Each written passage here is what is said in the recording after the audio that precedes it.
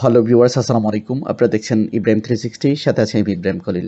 আজকের টিউটোরিয়ালটির মাধ্যমে আমরা জানব, একাদশ শ্রেণীতে ভর্তি বিজ্ঞপ্তি অলরেডি প্রকাশিত হয়েছে দুই হাজার চব্বিশের। আজকের টিউটোরিয়ালটির মাধ্যমে আমরা ভর্তি যোগ্যতা, আবেদনের তারিখ কলেজ চয়েস বিষয় নির্বাচন এবং ভর্তি ফি নিয়ে আলোচনা করব। চলুন শুরু করা যাক। তো আপনারা দেখতে পাচ্ছেন, আপনারা S H ED dot gov dot বিডিতে গেলে আপনারা পিডিএফটা পেয়ে যাবেন। আমি প্রয়োজনে ডেসক্রিপশন বক্সে লিঙ্ক দিয়ে দিব। একাদশ শ্রেণি ভর্তি নীতিমালা পিডিএফটা আপনি আমার ডেসক্রিপশন বক্সে পেয়ে যাবেন। এখন আমরা বিস্তারিত আলোচনা করব যে একাদশ শ্রেণি ভর্তি পদ্ধতি, প্রথমে আপনাকে অবশ্যই অনলাইনে আবেদন করতে হবে। অনলাইনে আবেদন করতে হলে আপনাকে ওয়েবসাইটে যেতে হবে।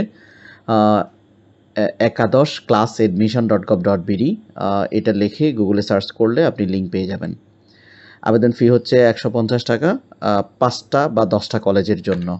আপনি সর্বনিম্ন পাঁচটা কলেজ সিলেক্ট করতে পারেন, সর্বোচ্চ দশটা কলেজ আপনি সিলেক্ট করতে পারবেন। এ, প্রত- মানে পাঁচটি কলেজ বা দশটি কলেজ যেটাই সিলেক্ট করেন না কেন ফি একশো পঞ্চাশ টাকা। আবেদন করার সুযোগ আপনি সর্বোচ্চ তিনবার পাবেন, প্রথম, দ্বিতীয় এবং তৃতীয়বার আবেদন করতে পারবেন। আপনি কলেজ নির্বাচন করার পরে, আবেদন করার পরে যখন কলেজ, কোনো একটা কলেজ আপনাকে সিলেক্ট করবে, তখন অবশ্যই আপনাকে রিটার্ন করতে হবে। সেটা খরচ পড়বে তিনশো পঁয়ত্রিশ টাকা। আর বর্তমান এই বছর আসন সংখ্যা রয়েছে প্রায় পঁচিশ লাখের মতো।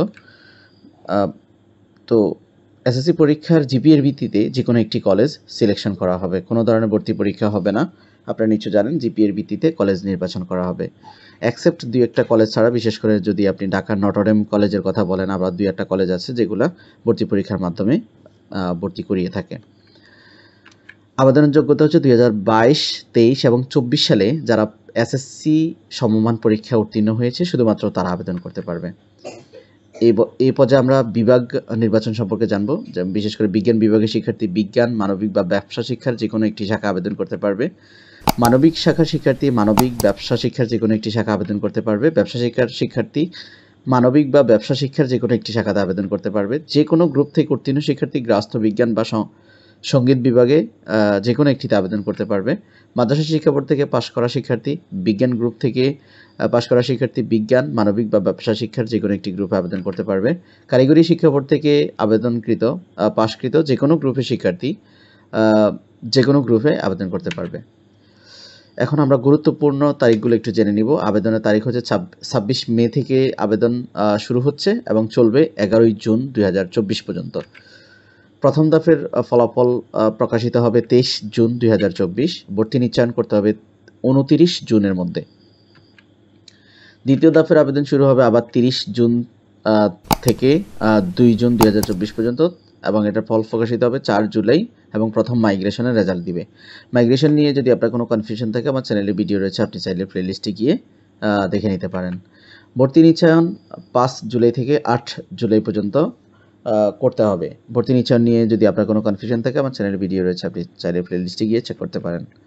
তৃতীয় দফের আবেদন নয় জুলাই থেকে দশ জুলাই দু হাজার চব্বিশ পর্যন্ত আবেদন করতে পারবেন, আর ফলাফল প্রকাশিত হবে বারো জুলাই, দ্বিতীয় মাইগ্রেশন রেজাল্ট এবং ভর্তি নিশ্চয়ন তেরো জুলাই থেকে চোদ্দ জুলাই পর্যন্ত আবেদন করা যাবে বা মাইগ্রেশনের ফলাফল বা নিশ্চয়ন করা যাবে। সকল দফের ভর্তি পনেরো জুলাই থেকে পঁচিশ জুলাইয়ের মধ্যে শেষ হবে আর ক্লাস শুরু হবে তিরিশ জুলাই। ভর্তির জন্য চূড়ান্ত কাগজপত্র লাগবে, ভর্তি ফর্ম কলেজ থেকে সংরক্ষিত ফর্ম রয়েছে। অনলাইনে আবেদন করার পরে, নিশ্চয়ন করার পরে আপনাকে অবশ্যই কলেজ থেকে ফর্ম সংগ্রহ করতে হবে। পাসপোর্ট সাইজের ছবি লাগবে চার থেকে ছয় কপি। কমপক্ষে ছয় কপি করে রাখবেন এসএসসি পরীক্ষার মার্কশিটের ফটোকপি আর অবশ্যই ভর্তির সময় কিন্তু মূল মার্কশিটটি জমা দিতে হবে।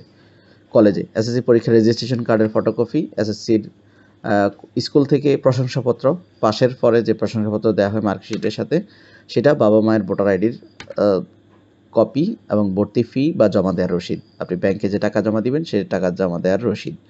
এগুলো ভর্তি হওয়ার জন্য লাগবে।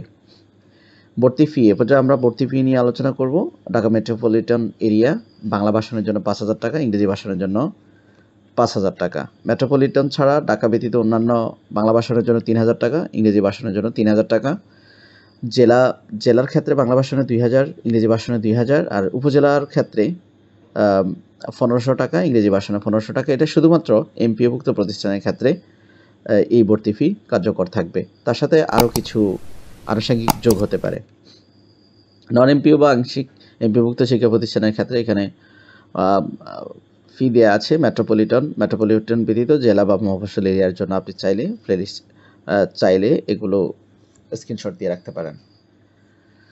তো এই ছিল আজকের আয়োজন। ভর্তির রিলেটেড কোনো কোয়েরি থাকলে কমেন্টস করে জানাতে পারেন। অলরেডি একটা প্লেলিস্ট রয়েছে একাদশ শ্রেণি ভর্তি নিয়ে। অনেক প্রশ্নও রয়েছে। সেখানে আপনি ভিডিওগুলো দেখলে আশা করি আপনার সমস্যার সমাধান হবে। ভালো থাকবেন সবাই। আসসালামু আলাইকুম।